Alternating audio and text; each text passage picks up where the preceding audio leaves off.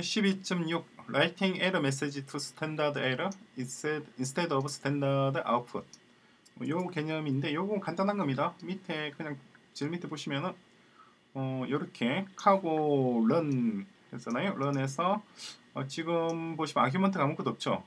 아규먼트가 아무것도 없으면은 어 여기가 그 에러 메시지가 뭐가 나올 거 아니에요? 그 에러 메시지를 여기다가 출력하란 말입니다. output 텍스트 그러니까 redirection을 한 거죠. 그러면 output 텍스트에는 이런 내용이 담기게 되겠죠. 그죠?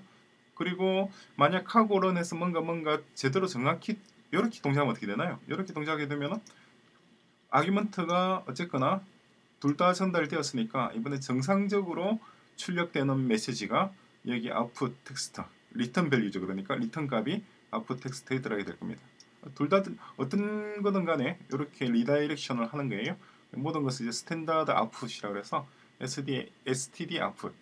음, 서로 다 나오게 되는 거죠 그죠?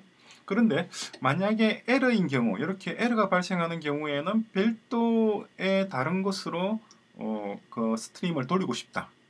그럴 수도 있죠. 정상적인 것은 이렇게가 보내, 보내고 아웃풋 텍스트를 보내고 에러인 경우에는 딴 데로 보내고 싶다 라고 하려면 코드를 어떻게 작성하면 되겠느냐는 거예요. 그 간단한 내용이 이렇게 작성하면 됩니다. 이렇게 e print line 그래서 E 에러란 말이에요. 에러 stream을 의미합니다. 그렇게 되면은 만약에 에러가 발생했다라고 하면은 그런 다음에 요 결과값 요 리턴 값 있죠? 요 리턴 값은 standard output 어차피 둘 다 standard output이긴 합니다만은 어, 에러 stream이라고 하는 별도의 공간으로 보냅니다. 어, 별도의 공간으로 보내고 이것도 마찬가지죠.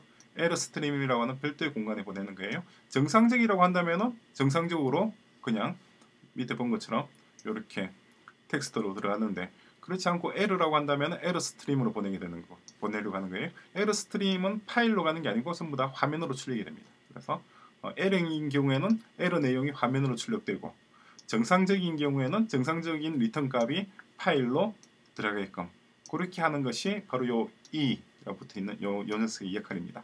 만약 E라고 하는 역할이 없, 이게 없으면 정상적이든 에러든 몽땅 다 파일로 가야 되는 거죠. 그죠? 이해가 되시죠? 네, 간단한 내용인데 위에 설명을 좀 꼬아놨, 꼬여놔서 보는 사람이 좀 헷갈릴 것 같아요. 그래서 제가 간단하게 요약을 했습니다.